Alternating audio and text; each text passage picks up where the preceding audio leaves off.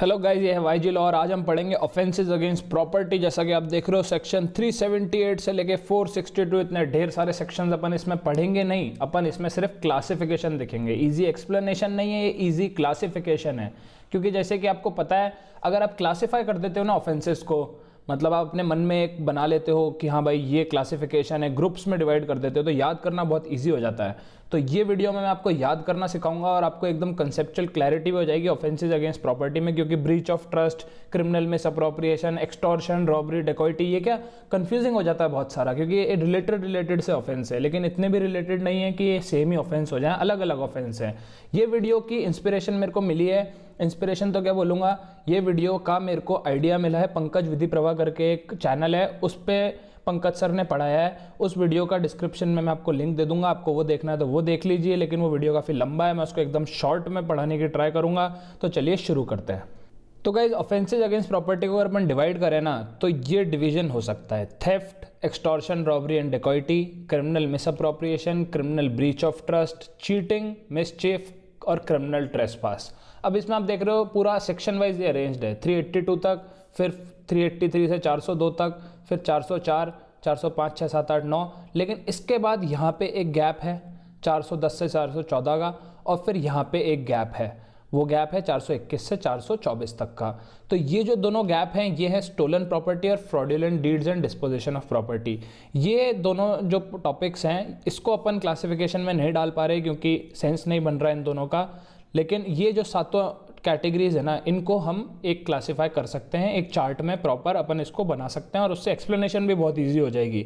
अब जैसे theft extortion robbery ये सारे जो ऑफेंसेज है ना, इसमें मैं छः वीडियो और बनाऊँगा। एक थेफ्ट का बनेगा, एक इसका बनेगा, तीन और चार का साथ में बन जाएगा, फिर पाँच छः सात। तो ये दोनों का एक वीडियो और बाकी सबका एक एक वीडियो तो टोटल छः वीडियोस और बनेंगे, वो मैं डिस्क्रिप्शन में लिंक कर दूँगा। आप देख लेना, उसमें डिटेल में हम डील करेंगे थेफ्ट वगैरह केस लॉ वेस लॉ के साथ, और इसमें सिर्फ़ हम क्लासीफाई करेंगे और कंसेप्चुअल समझेंगे कि ऑफेंसेज में एक्चुअली डिफरेंस क्या है। तो चलिए देखते हैं इनमें डिफरेंस क्या है। तो गाइज़ ऑफेंसेज अगेंस्ट प्रॉपर्टी को अगर अपन मेजर मेजर डिवाइड करें तो दो कैटेगरी में डिवाइड कर सकते हैं सबसे पहले। पहला डिवीज़न दो कैटेगरी में होगा, वो डिवीज़न होगा इंटरफियरेंस इन प्रॉपर्टीज़ राइट और affecting physical state of property interference in properties right में क्या होगा? जैसे मान लो, एक बंदा है ए और इसके पास प्रॉपर्टी है, ये इसकी प्रॉपर्टी है, ये इस लैंड को पूरे को ओन करता है। ठीक है? अब इसमें अगर बी बंदा आके घुस जाए और फिर निकल जाए तो इस प्रॉपर्टी को कोई फ़र्क नहीं पड़ा, समझे? मतलब कोई फ़र्क नहीं पड़ा इसकी प्रॉपर्टी में, ना कुछ इसकी वैल्यू कम हुई, ना इसके हाथ से गई, ना कुछ गई। लेकिन ये जो अंदर घुस के बाहर निकला ना, ये इसका जो प्रॉपर्टी का राइट है ना, ये अफेक्ट कर रहा है। ए का राइट है कि उसकी प्रॉपर्टी में कोई नहीं घुसे बी ने वो राइट अफेक्ट करा है। तो अगर इस कैटेगरी में अपन ऑफेंस मानेंगे तो सिर्फ़ एक ऑफेंस है क्रिमिनल ट्रेस ये जो घुसना, निकलना और इंटरफियरेंस इन प्रॉपर्टी राइट है ना, ये क्रिमिनल ट्रेस होता है। ये दिया हुआ है सेक्शन 441 से 462 के बीच में। क्रिमिनल ट्रेसपास के अलावा जो सारे ऑफेंस है ना, वो सारे आते हैं affecting physical state of property की कैटेगरी में।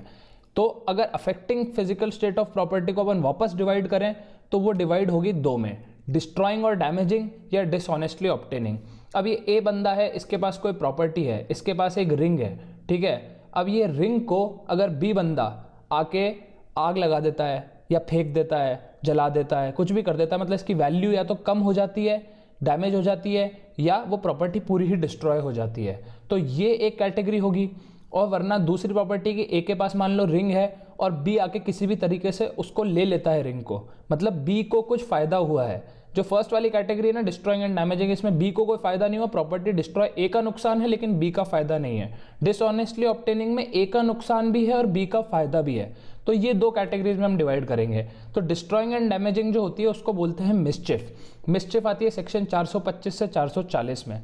और बाकी के जो सारे ऑफेंस है ना, वो आ जाएँगे डिसऑनेस्टली ऑप्टेनिंग में। समझ रहे हो आप? पहले अपन ने डिवाइड किया तो क्रिमिनल ट्रेसपास में डिवाइड हुआ और बाकी सारे ऑफेंसेस फिर बाकी सारे ऑफेंसेस को वापस डिवाइड किया तो मिसचिफ आया जो डिस्ट्रॉइंग एंड डैमेजिंग है और फिर डिसऑनेस्टली ऑप्टेनिंग में बाकी सारे ऑफेंसेस डिसऑनेस्टली ऑप्टेनिंग को अपन वापस डिवाइड करेंगे तो एक आएगा mens rea before obtaining property और mens rea after obtaining property mens rea before obtaining property और इसका क्या मतलब है? आफ्टर ऑप्टेनिंग प्रॉपर्टी मतलब जैसे आप क्राइम करते हो तो क्राइम में अपन ने क्या देखा था? एक तो मेंसरिया होता है प्लस एक्टस रियस होता है। मेंस रिया मतलब इंटेंशन टू कमिट क्राइम और एक्टस रियस जो एक्ट करी क्राइम कमिट करने के लिए। अब जो एक कैटेगरी है ना अपनी, mens rea before obtaining property इसका मतलब इंटेंशन टू टेक प्रॉपर्टी ठीक है? प्रॉपर्टी का जो क्राइम प्रॉपर्टी रिलेटेड जो क्राइम करना था, उसका जो इंटेंशन है, वो प्रॉपर्टी हाथ में आने से पहले ही था। यही वाली सिचुएशन ले लो ए के पास रिंग है बी को रिंग चाहिए। तो बी ने अगर पहले ही सोच रखा है ना, मेरे को ए से रिंग लेनी है, कोई ऑफेंस करके dishonestly fraudulently by fear by fraud कैसे भी लेनी है तो वो इस कैटेगरी में आएगा। मेंसरिया उसके पास पहले से था प्रॉपर्टी लेने से पहले। और जो सेकंड कैटेगरी है ना मेंसरिया आफ्टर ऑप्टेनिंग प्रॉपर्टी इसमें यही वाली एग्जांपल ए के पास रिंग है बी को रिंग लेनी है। और लेकिन पहले नहीं लेनी थी। बी का कोई इंटेंशन नहीं था रिंग चुराने का, लेकिन ए ने बी को बोला कि भाई मेरी रिंग तू संभाल के रख ले।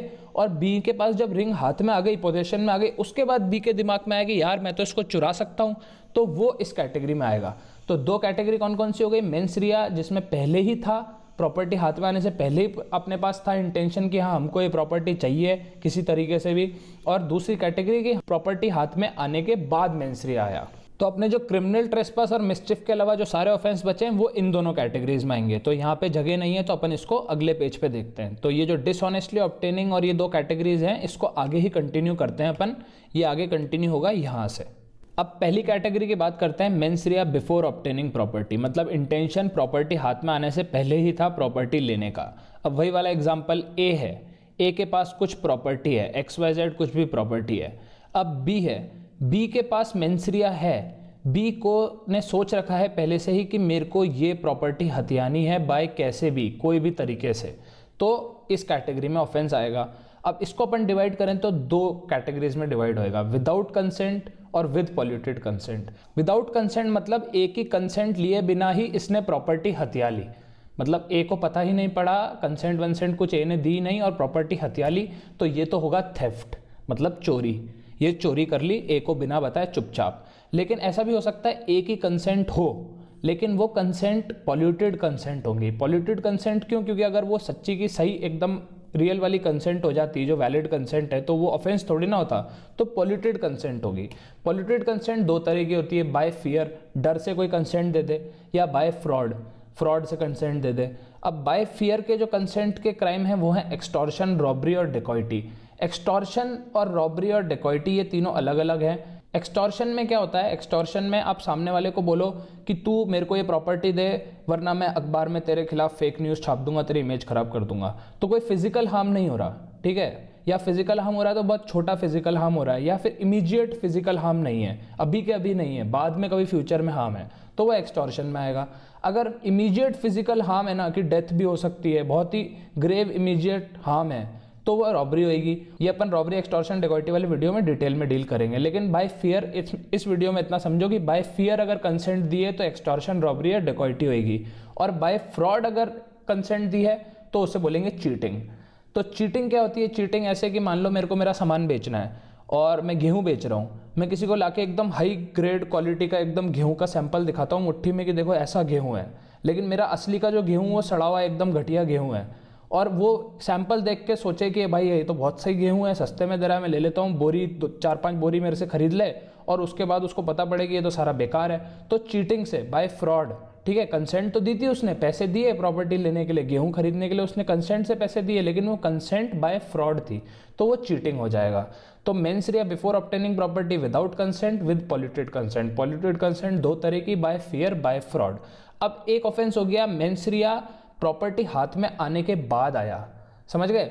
ए के पास प्रॉपर्टी है बी को ए की प्रॉपर्टी चाहिए। ए ने अपनी प्रॉपर्टी बी को दे दी, खुद से दी कि भाई बी प्रॉपर्टी रख। उसके बाद बी के दिमाग में आया कि अरे मैं प्रॉपर्टी अपने पास ही रख लेता हूँ। देता ही नहीं हूँ वापस या आगे सप्लाई करनी है तो आगे सप्लाई नहीं करता हूँ। ठीक है? जैसे मान लो ए को प्रॉपर्टी है कुछ, ये इसके पास कोई किताब है। ठीक है, ये बुक इसको कुरियर करनी है कहीं पे, इसने कुरियर एजेंट है बी उसको दी और बी ने आगे कुरियर ही नहीं करी, खुद के लिए रख ली। तो वो इस कैटेगरी में ऑफेंस आएगा। इसमें दो ऑफेंस होते हैं। क्रिमिनल मिसअप्रोप्रिएशन और क्रिमिनल ब्रीच ऑफ़ ट्रस्ट ठीक है क्रिमिनल मिसअप्रोप्रिएशन और क्रिमिनल ब्रीच ऑफ़ ट्रस्ट में मेजर मेजर डिफरेंस क्या है? क्रिमिनल मिस अप्रोप्रिएशन में नेचुरल कोर्स ऑफ़ ऑर्डर में प्रॉपर्टी आती है सामने वाले के पास। जैसे मैंने कुरियर वाला एग्जांपल दिया। एक को कुरियर करनी है तो कुरियर के लिए नेचुरली वो कुरियर कंपनी को देगा तो नेचुरल कोर्स ऑफ़ बिज़नेस में। या फिर मेरे पास मोटरसाइकिल है, मेरे पास रॉयल एनफील्ड है, वो मैं रॉयल एनफील्ड की शोरूम पर देता हूँ कि भाई मेरी सर्विस कर देना बाइक की। लेकिन वो बाइक खुद से रख लेते हैं, देते ही नहीं है मुझे वापस। ठीक है? तो वो criminal misappropriation criminal breach of trust में मैं मेरी property normal course of business में नहीं दे रहा। मैं उसको कोई अपने मतलब ट्रस्ट के बेसिस पे दे रहा हूँ कि हाँ भाई तू ये एक सेकंड के लिए रख ले। जैसे मान लो एक केस था, इसमें वो अपन इस वीडियो में डिस्कस करेंगे, उसके फैक्ट्स ऐसे थे कि एक औरत थी, उसने अपनी टिकट दी सामने वाले बंदे को चेक करने के लिए कि भाई ये टिकट चेक करके बता दो, मेरी सही है क्या बेटा? अनपढ़ थी वो औरत। बहुत पुराना केस है। तो सामने वाले बंदे ने देखा कि अरे ये टिकट तो महँगी वाली टिकट है। और उसके पास एक टिकट थी सस्ती वाली टिकट। तो उसने वो टिकट रख ली और अपनी वाली टिकट औरत को दे दी, क्यों? औरत को तो पता नहीं पड़ेगा, उसने टिकट बदल दी। तो ये क्रिमिनल ब्रीच ऑफ़ ट्रस्ट होगा। तो इसमें भी उसके पास जब तक हाथ में टिकट आई नहीं थी ना, तब तक उसका कोई इंटेंशन नहीं था प्रॉपर्टी ऑप्टेन करने का। उसको तो पता भी नहीं था कि मेरे पास प्रॉपर्टी आने वाली है। तो उसका जो इंटेंशन है ना मीन्स रिया, वो प्रॉपर्टी ऑप्टेन करने के बाद आया। तो गाइज़ ये है पूरा का पूरा सारे ऑफेंसेस का कैटेगराइजेशन तो एक बार गाइज़ इसको रिवाइज कर लेते हैं, एक ही पेज पे। दो कैटेगरी में अपन ने डिवाइड किया। पहली कैटेगरी जिसमें इंटरफियरेंस था प्रॉपर्टी राइट में और दूसरी कैटेगरी जिसमें physical state of property affect हो रही है। इंटरफियरेंस वाली चीज़ में सिर्फ़ एक ऑफेंस है क्रिमिनल ट्रेसपास बाकी सारे ऑफेंस में physical state of property affect हो रही है। एक कैटेगरी आएगी जिसमें प्रॉपर्टी डिस्ट्रॉय या डैमेज हो रही है और एक कैटेगरी होगी जिसमें कोई दूसरा वाला प्रॉपर्टी ऑप्टेन कर रहा है। तो जो डिस्ट्रॉयड वाली या डैमेज वाली कैटेगरी है, वो मिसचिफ वो सारे ऑफेंसेस मिसचिफ में आएँगे और जिसमें दूसरा वाला ऑप्टेन कर रहा है, सामने वाले को कोई रॉन्गफुल गेन हो रहा है, ठीक है? इसमें तो सिर्फ़ रॉन्गफुल लॉस है जो विक्टिम है उसको। इसमें सामने वाली पार्टी को रॉन्गफुल गेन भी है। तो इसको अपन वापस दो में डिवाइड करेंगे। इसको दो में डिवाइड करेंगे तो एक में इंटेंशन प्रॉपर्टी हाथ में आने के बाद आया, ठीक है? Intention to obtain property after getting property in possession ठीक है? जो मेंसरिया था वो बाद में आया, वो है क्रिमिनल मिसअप्रोप्रिएशन और क्रिमिनल ब्रीच ऑफ़ ट्रस्ट और मेंसरिया अगर पहले ही था प्रॉपर्टी हाथ में आने से पहले ही इंटेंशन था मेरा प्रॉपर्टी लेने का तो वो दो कैटेगरी में डिवाइड होगा। एक जिसमें कंसेंट ही नहीं थी और एक जिसमें पॉल्यूटेड कंसेंट थी। जिसमें कंसेंट ही नहीं थी, वो हो जाएगा थेफ्ट जो पॉल्यूटेड कंसेंट होगी, वो कंसेंट के बेसिस में दो में डिवाइड हो जाएगा। या तो कंसेंट फियर के बेसिस पे थी, जो कि एक्सटॉर्शन रॉबरी एंड डेकोइटी होगा, या कंसेंट फ्रॉड के बेसिस पे थी, जो कि चीटिंग होगा। अब गाइस इससे है ना, इससे एक फ़ायदा बताऊँ क्या होगा? ये जो अपन ने पूरा फ्लो चार्ट पढ़ा ना, इस फ्लो चार्ट में अगर अपन ढंग से इसको समझ जाते हैं, ढंग से अगर आप समझ गए हो, जो मेरे हिसाब से समझ गए होगे तो आप इसको, हर ऑफेंस को आप बहुत इजीली समझ भी जाओगे। सिर्फ़ इनको कैटेगराइज करने के लिए नहीं, इनकी कंसेप्चुअल क्लैरिटी के लिए भी। अब जैसे चीटिंग है, ठीक है? तो चीटिंग में वो सारे असेंशियल्स होंगे। चीटिंग में कंसेंट है फ्रॉड से कंसेंट है प्रॉपर्टी पॉल्यूटेड कंसेंट से ली गई है। फिर जो इंटेंशन था प्रॉपर्टी को लेने का, वो प्रॉपर्टी पोजेशन में आने से पहले ही था। फिर प्रॉपर्टी डिसऑनेस्टली ऑप्टेन की गई है और प्रॉपर्टी का फ़िज़िकल स्टेट अफेक्ट हो रहा है। तो ये सारी चीज़ें इसमें बैठेंगी।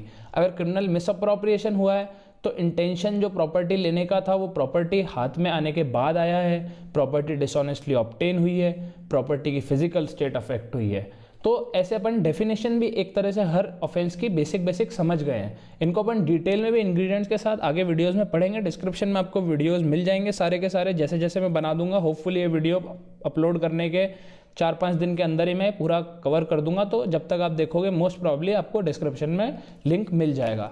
तो गाइज़ अगर आपको ये कैटेगराइजेशन अच्छा लगा तो आप सबसे पहले तो नीचे जाके पंकज विधि प्रभा करके जो चैनल है, जो ओरिजिनल वीडियो था, जिससे मेरे को ये पूरा आइडिया मिला, वो लाइक करो, क्योंकि वो डिज़र्व करते हैं एक लाइक और मेरा वीडियो भी लाइक कर दो यार, अगर आपको एक्सप्लेनेशन अच्छा लगा तो और सब्सक्राइब मार दो, और बाकी वीडियोस भी सारे के सारे प्रॉपर्टी के देख लेना, जिसमें हम डिटेल में सारे ऑफेंसेस डील करेंगे।